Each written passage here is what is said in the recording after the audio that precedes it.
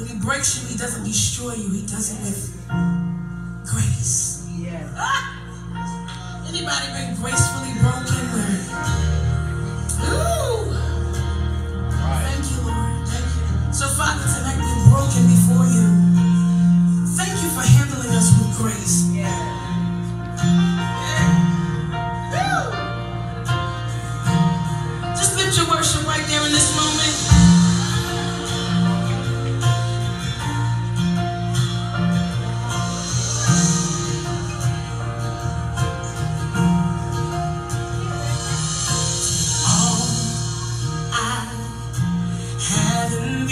Hands and multiply, God, all that I am and find my heart on the altar again. Set me on fire.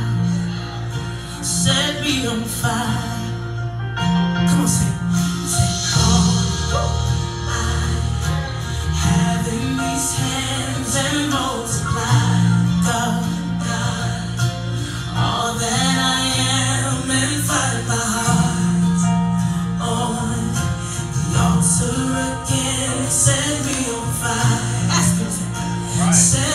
Fire.